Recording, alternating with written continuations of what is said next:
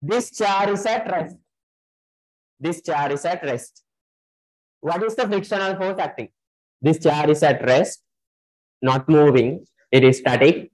What is the type of friction acting? Sure. No, no, Lamai. What is friction? A opposing force.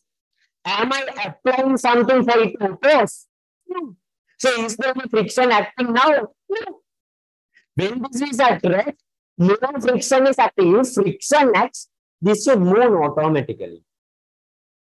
Isn't it? Just imagine if friction is acting here.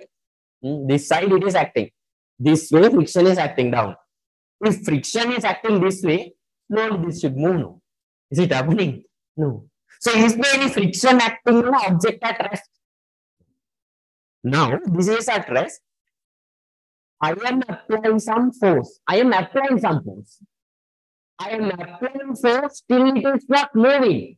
It is rest now. It is static. I am applying force. It is not moving. Is there a friction? Yes. What is that friction? Static. So remember, static is not now. Static is now.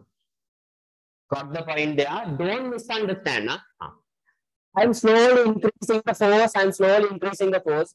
Now it's at the verge of moving. After this, this will move. After that, it will move. So at the verge of moving, the friction is limiting friction. Now, when it is moving, when it is moving, still I can feel some friction. What is that friction? Dynamic friction.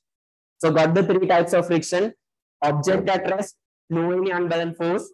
Object at rest, I am applying some external force. No motion means static friction. At the verge of motion, at the verge of motion, ah, limiting friction. When moving, dynamic friction. Okay.